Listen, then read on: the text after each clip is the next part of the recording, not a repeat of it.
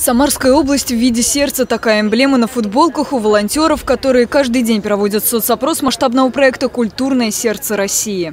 Анкетирование занимает всего три минуты. Вопросы простые. К примеру, кем вы хотите быть на событии? Актером, волонтером, организатором или зрителем?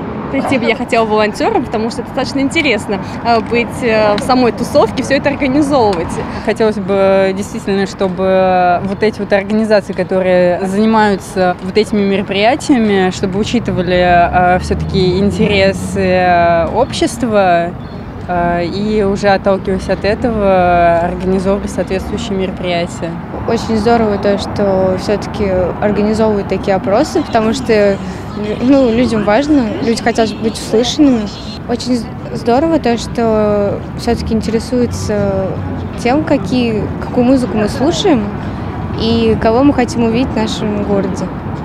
Встретить волонтеров можно около крупных торговых центров, на оживленных перекрестках, пешеходных улицах, в парках, скверах, на центральных площадях населенных пунктов, возле зданий администрации и домов культуры. Адреса можно найти на сайте областного правительства и Минкульта. Пройти опрос можно не только у волонтеров, но и в социальной сети ВКонтакте по адресу vk.com слэш культура 63.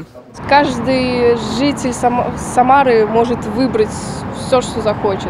Какую хочет группу видеть у нас в Самаре, где, когда, сколько раз вот за летний каждый свободно высказывает свое мнение и помогает все, скажем так, следить в чтобы у каждого лета было просто потрясающим.